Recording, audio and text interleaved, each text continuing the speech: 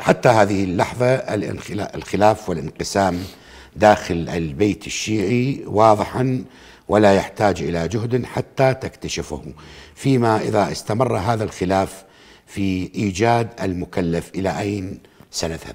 بدأ تحياتي لك ولا بد وأن في بداية حلقتك الرائعة أن أقدم التهاني إلى نساء العراق بمناسبة يوم المرأة العالمي.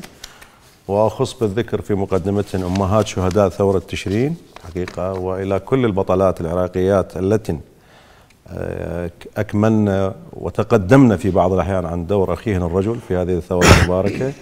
ولولا المرأة بكل عنوانها وعطائها ما كان يعني تم استعادة هوية الوطن في طريقنا إلى استعادة الوطن. وفي سياق ما تفضل فيه أنت جنابك هو يقع السؤال الأكبر. هل ثورة تشرين هي تختزل بحكومة أو بعنوان رئيس وزراء يأتي هنا أو يذهب هناك. هذا الخطأ الكبير الذي وقع فيه الطبقة الطبقة السياسية اللي تفضلت عنها أنت في الحديث أنه حكمت العراق منذ عام 2003 هذا اختزال لكل مشاكل العراق. صحيح هي الحكومة وخصوصا في الحكومات السابقة لا أقصد بس فقط حكومة سيد عادل عبد المهدي كانت مسؤولة عن كثير من الخطايا وحتى عن الجرائم كثير ملفات ممكن أن تفتح صحيح هذا ولكن لولا العمق في الخلل الكبير في هذا البناء السياسي اللي حصل بعد 2003 والأسس اللي قام عليها ما كانت الحكومة إلا هي انعكاس طبيعي لعمق الأزمة العراقية، هذا واحد. اليوم القصة ليست فقط هي الأزمة عند البيت الشيعي السياسي طبعا ولا عند البيت السني السياسي أو البيت الكردي السياسي. القصة انهم فقدوا البوصلة وأكد لك هذا بكل دليل. طبعا عدة عوامل جعلتهم يفقدوا البوصلة البوصلة.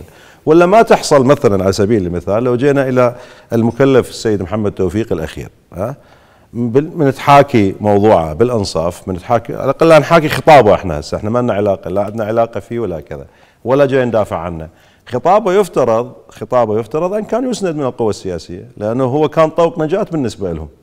كان طوق نجاة الآن وقعوا في أزمة أكبر. أنا الحقيقة آه، كنت أتخيل في أي لحظة من اللحظات رغم أنه أنا كنت معتقد وتعرف انت أنه لن يمر لأن أعرف طبيعة الترتيب اللي حاصل. لكن هم خطأوا خطأ أكبر. كان يعتقد البعض إزاحته ممكن أن تمكنه من أن يدير الدفة بالشكل اللي هو يرغب فيه. هذا ما راح يحصل. اليوم الأزمة صارت أعقد أكبر بدليل حتى أربط لك الحدث شيء بشيء. حتى زيارة شمخاني أنا بتقديري هي استدعاء. استدعاء من القوى العراقية الشيعية آه، إنه يعني بهذا المعنى تعال خلينا نفض الأزمة. استدعاء أم استنجاد؟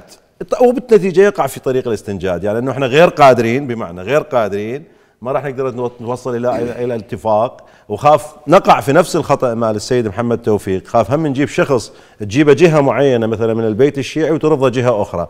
والآن أكو هيك مماحكات يعني.